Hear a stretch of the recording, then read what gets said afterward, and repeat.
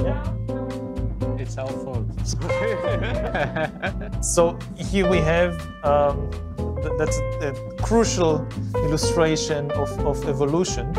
It's called it's Dorudon, Yes, it's the ancestor it's, of the whale. It's not a photo, Mhm. of course. So how do you start? Yeah. My, my drawing skills are really non-existent, but I can try. You can start with a simple line. which is which is this? Yes. You can start to create a or create a. You This can is draw. supposed to be the main yes, body, it's only this this shape. and that's kind of the tail. Another form. You can make one point here. This is will Another be the leg. Yes. It is is the basic form. After that, we have to make a, a details, no? If, like m- more Yes. Accurate exactly. with details. It's it's better than mine. yes, of course. Yes.